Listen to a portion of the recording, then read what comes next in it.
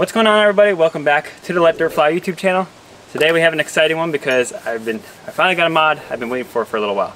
If you guys noticed, my stock tires are back on right now and uh, that's for a little bit of a reason you'll see coming up here very shortly in this video. So many of you know that this is my 2020 Can-Am Outlander 650 XMR and uh, this quad has been doing great for me. Um, right now it actually has um, a Dalton DBO 650 clutch kit in it and seems to work really good. And um, I've actually been running a pair of System 3 wheels that were mounted up with some um, ITP Cryptid 28 inch tires and this thing's been doing good. Now if you're also familiar with the channel you'll know that my buddy Seth just got himself a 2018 Can-Am Outlander 850 XMR and now has become the big dog of the channel which is just not settling well with me. I'm not gonna lie, it's, it's making me a little upset. So, we're going from our Dalton DBO 650 clutch here. Boom, check that guy out. There we go. Going from this guy to primary, CV Tech. So in this video, I'm gonna go over why you might wanna do a setup like this versus just a regular clutch kit. Is this worth the 300 to $400 difference that this is? Because I believe this was around $200 and this was almost like six. And I had this all set up by Griffin Performance. And um, it wasn't set up for 28s, this guy, so you're gonna see it's gonna probably accelerate a little bit harder than normal because uh, there's a reason my stock tires are back on. Like I said, you'll see in a minute. So right now what I'm gonna do is I'm gonna go ahead and pull off the clutch cover and uh, clean it actually real quick because ever since I swamped my quad, I have not cleaned it yet. So it's it's dirty in there. I know it is because every time I start my quad, big poof of dust comes out of the out of the uh, snorkel exhaust. So um, I'm gonna go ahead, clean it up real quick, and then um, I'm gonna get some different uh, speed runs in for you guys and also try to get a G meter going on the GoPro to kind of see if it picks it up at all, see if it accelerates any harder with the actual uh, clutch in it. But I'm gonna do this all on the stock tires right now. Just this way, if you have the same quad, you can kind of see the difference in everything. Now my quad is also tuned with the exhaust, um, and other than that, it really doesn't have much else going on besides the snorkel and stuff, which that doesn't add much performance. So, let's get right into it. So as I was about to start pulling my panels off, wouldn't you know it by the grace of the shipping gods, my package came. Say hello to the new setup, guys. Boom. 31 inch System 3 XM 310s. Yes, they clear. I already checked. They do clear, barely. They kind of touch when the suspension's at full droop, but it took a full week to get them because uh, each one was shipped individually. So I got one at a time. So this one I already had mounted. The one I just got is actually over there, but I have my full set now. So this is why I got the CV Tech here and it's all tuned up for the 31 inch tires. I'm excited. I hope this gets you guys excited because this is gonna be awesome. Let's get this clutch cover off. Let's get this film done for you guys. This way you guys can see the difference between the clutches. Let's get into it now. I'm excited.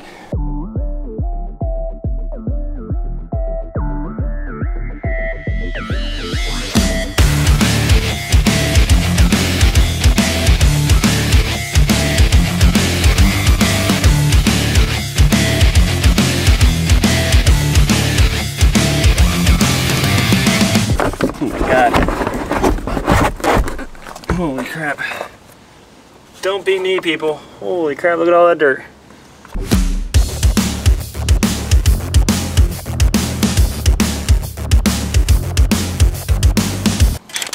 Alright. Stock primary, going back to stock here. Just like that. This guy up. Now as we're changing, go back to stock. Is this green springs coming out? Oh my god, look at that inside. you guys can see that. But there's just all kinds of nasty stuff happening in there. But yeah, so green spring's coming out, going back to the stock uh, spring. And then this guy splits in half just like so. If it'll come apart because it's so dirty. Jeez. Alright, hang on. There we go. So that comes off. You want to keep your orientation the same. I think I marked it last time. Yes, I did. So you always want to mark it. As you can see, oop, you're not on the camera. I put black marks there. So you want to keep that in, but so these are the Dalton flyweights. We're going to swap these back to stock. And like I said, stock spring. And then, yeah, we're going to see how the stock setup does. Alright guys, so I wanted to do a stock video, but we have one on the channel already, stock versus the Dalton. But for a reason, this uh, this guy, I don't know if you can see in there, it's all kinds of screwed up for some reason, my stock weight. And uh, won't slide nicely on the, oh, GoPro's turned off. Um, won't slide nicely on the bolt and everything. So instead of dropping down nice like this, you can see how this is kind of, everybody's turning off here. Jeez. So instead of just flopping in the wind like this, like they're supposed to, it was super stiff to work back and forth and whatnot. So don't want to run it like that. It's not going to work correctly. So it's going to skip doing a stock deal. And we're going to go ahead, clean up my belt compartment here, CVT compartment, and uh, go ahead and get this uh, get this clutch on wherever it's at. There, over there. All right, so you're gonna need two different tools to do this. You're gonna need a, a belt tool for the Can-Ams. So you should have this already, if anything. Mine's a little rusted. But um, yeah, you should have this because you're gonna need it to change your belt. So I have this, and I also have, it's right in there, the primary puller for the stock clutch. Unfortunately, only getting one use out of that. And I'm going to an aftermarket clutch, so it's not going to work anymore. But this guy just threads right in here. You guys go until she tightens up.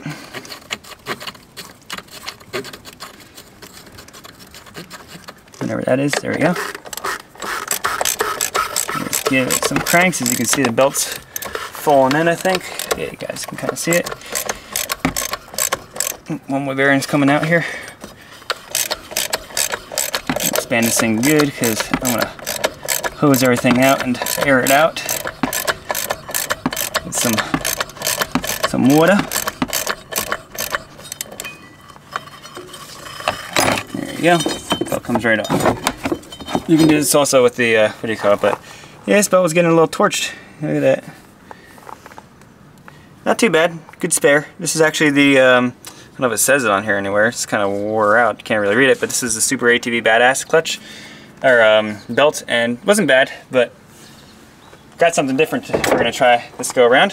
First, let's get this primary off and see what size that is. It's probably gonna be three quarter, just like the other bolt. There you go. So, give this guy,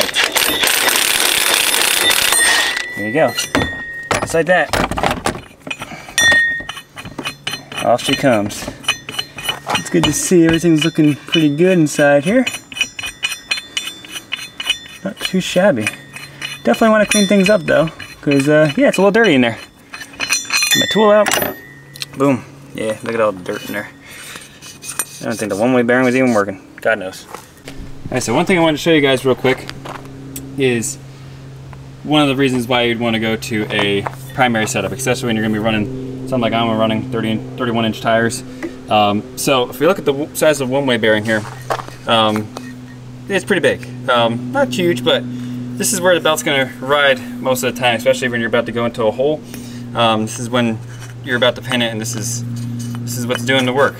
So on this guy, you can see it's astronomically smaller, like very very small. And this is their one-way bearing, and what that's going to allow to do is the belt can ride down lower in the clutch sheaves and give you a little bit more off the line, which is to help you run bigger tires and also the way that if you get like a custom setup like I did from Griffin Performance, they're gonna have this thing already all set up spring-wise, weight-wise, and everything ready to go for your application. So I told them exactly the mods I had done, the tires I'm running, and yeah, this thing should be really good. So we're gonna find out right now. Let's get uh, get the belt housing all cleaned up and get it all together. All right, just set her in place here to see what it's kind of gonna kind of look like, and it's looking good. So it looks like I have to put this washer on there. I'm gonna guess. Should probably look at the directions and double check. seems about right. Alright, so Can-Am wants this bolt. I did do this right. They want you to remove these two guys, looks like, because um, all they show in their picture is that washer and the bolt. But uh, they Can-Am wants this torqued to 89 foot-pounds, so that is what we're going to do, and good luck to me trying to do that with this. I'm going to need a block of wood. Alright, oops, some stuff over. Yeah, this is my invention, so it's putting a wood block underneath there. It's gonna work great, I hope. Find out. Oh, that worked really good. Oh, it's holding there. Not where I planned on holding it, but kind of crushing my my block here. Get this more under there. One eternity later. Alright, finally got I had to use a piece of 4x4, but finally got it, got the belt on. Went with the Gates Redline just for for now, just to try it out and see, because I've heard pretty good things about it. Some guys say other things. Guys say run the Maverick belt and stuff, but we're gonna see uh, see how it goes right now. We're gonna fire it up and take it for a spin. All right, guys. So this is my driveway. I'm not going for top speed or anything. Gotta watch my leg here because uh, yeah, that's a clutch spinning. But I'm gonna try to record on the GoPro here the speed, and uh, also I think they pick up G's too. See if we improve it all. So this is what the Dalton clutch kit 650 or DBO 650.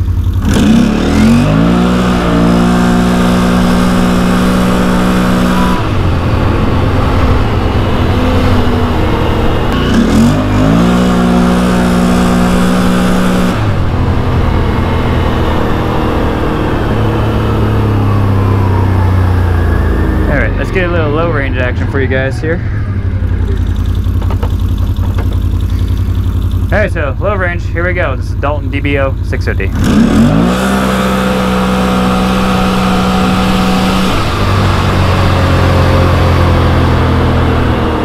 Alright guys, so first ride with the CV Tech here. It actually seems quieter than the uh, stock setup.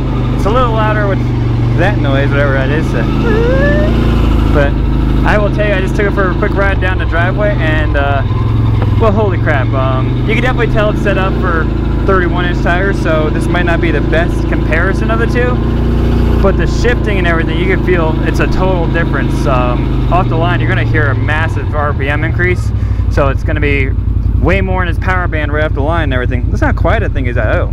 I'm pleasantly surprised. Listen to that thing, it's dead silent. That's freaking awesome. Anyway, so yeah, you're gonna hear a big RPM increase off the line, but uh, this thing freaking rips now. Here we go.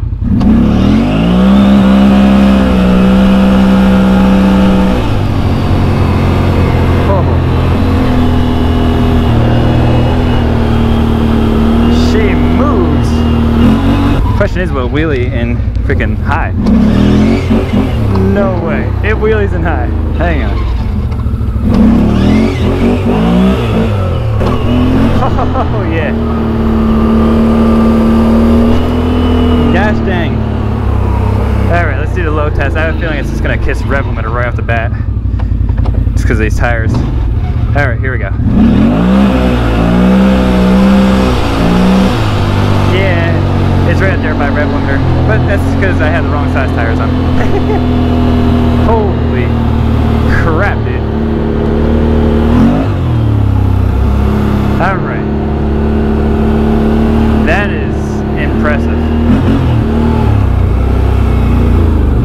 Wow. I mean, listen to that thing, how quiet that is. Let me put it in park if I can get to park. Can-Am shuffle, baby. There she is. Oh, there's there's a gear. I'm just gonna do neutral. Yeah. Can-Am power. Listen how quiet that is. Like seriously, you can't even see, hear it. That's freaking awesome. Yeah, definitely gonna be kissing rev limiter a little bit with these tires, but those bad girls are going on right now.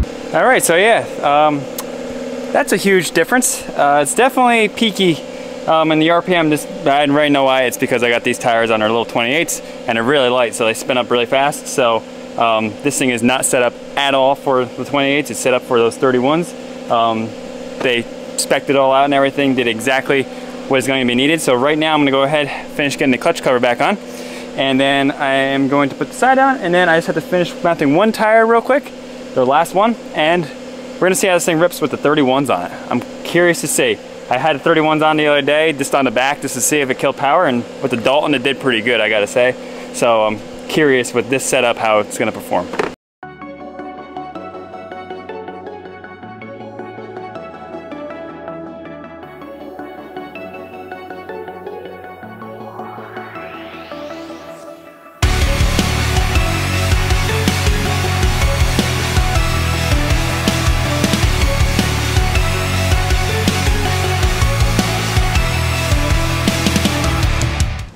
All right, folks, and there she is. System 3 XM310 tires, 31 inch. So they did rub a little bit when I wheelied before just testing it um, right there. So do you have a plan already coming for footwells and whatnot? And the rears, I don't even want to talk about. They, uh, at normal riding, it's fine. but when the suspension completely droops, she rubs a little bit. So, no biggie. Little self-clearance, right? But uh, yeah, she looks mean. Like real mean. Looks freaking huge. So, right now, I'm gonna go ahead and grab the uh, speed comparison clip, I guess you could say, because this is actually set up now correctly, and I took it down the driveway, and this thing rips. Even with the 31s on it, it feels like it did. It feels like I still have the 28s on it. It's pretty, it's impressive. So right now I'm gonna grab the helmet, go ahead and get those clips for you guys, and then we'll wrap it up with you guys. All right, so here goes the CV Tech clutch kit. I gotta go over here a little bit because my girlfriend's car is there, but we'll just go right here so I'm not too close. All right, let's see here. So this is the this is the CV Tech hit. So let's see how she goes.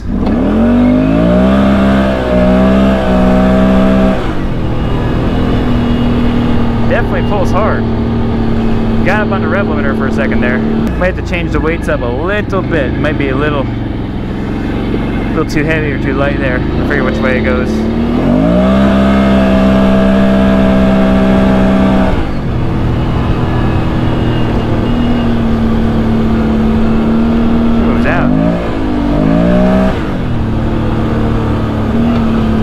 Oh look, there's a set. It's funny, it's the same height as yours now. That's dead. Back is a little bit higher, but I did lower my suspension. Oh yeah, it is higher. My So, front and your front are probably even. eh, mine looks freaking huge now. Alright guys, so that's going to wrap it up for today. I hope this helped you guys out if you are looking to buy a, either a clutch kit or a clutch. They both seem to do really good for what they are. Um, the Dalton can go up to a 31 inch or 32 inch tire. Um, I just didn't have the correct spring and weights for it, but that's no big deal. You just call them up, say, hey, this is what I got going on, and they send you all the right stuff, so it's really cool. But um, really happy with the CV Tech so far. And right now, I don't know if you can hear in the background, Seth is here, and we are going to go try this thing out. So next video is going to be the first rip on them, which is going to happen right now. It's getting a little dark out, but we're still going to go hit it. So make sure you guys are liking, subscribing, commenting down below, and make sure you guys are following us on TikTok, Instagram, all that good stuff because uh, we really appreciate your support. So we'll just have to catch you guys next time on Let Dirt Fly.